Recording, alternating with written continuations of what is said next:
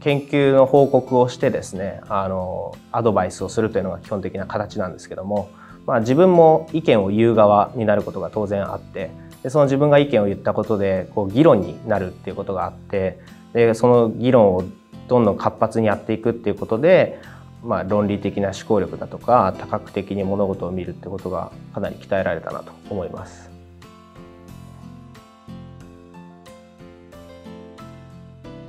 いわゆるゼミ形式の授業を行っていましてで、えー、少人数で大体20人ぐらいと先生が1人という形になっています。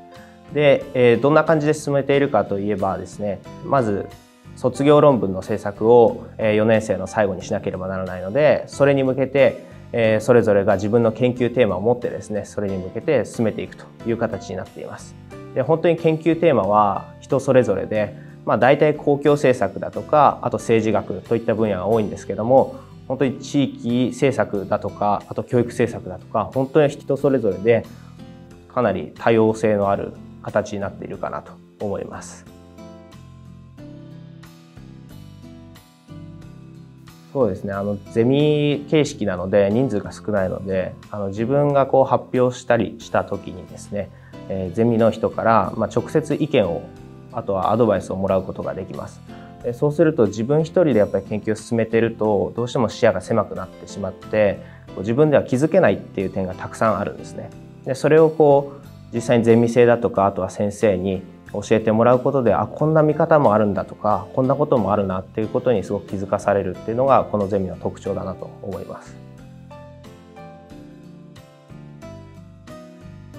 高校までだとどうしても暗記というか覚えることが中心だったと思うんですけど大学に入るとそうではなくて覚えてる知識も活用しながらもうとにかく調べるとかなぜそうなるかってことを考えるっていうこと、まあ、考えると調べるってことが中心になってくるっていうのが、まあ、高校までの